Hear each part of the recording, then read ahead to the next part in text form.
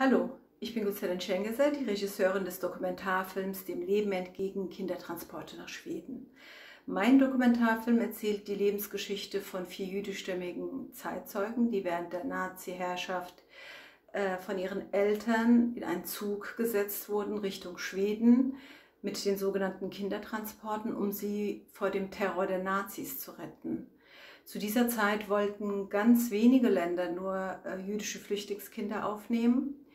Etwa 20.500 haben es mit diesen sogenannten Kindertransporten ins Ausland geschafft, 500 davon äh, nach Schweden.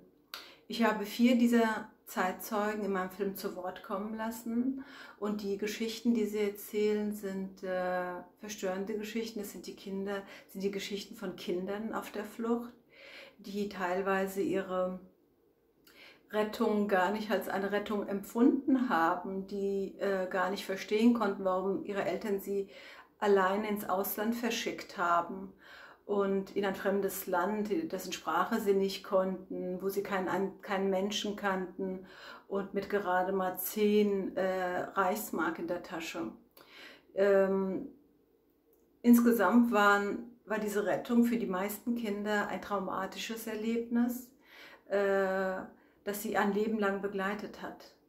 Diese Geschichten sind äh, traurig anzuhören, anzuschauen, aber ich bin der Überzeugung, dass solche Geschichten auch einem etwas einen den Boden unter den Füßen wieder spüren lassen können, äh, vielleicht einem sogar ein Stück weit Orientierung bieten können und vielleicht auch gerade in dieser Zeit, wo wir so frustriert sind wegen der Pandemiesituation, ähm, wir unsere eigenen Gefühle vielleicht nochmal neu verorten können.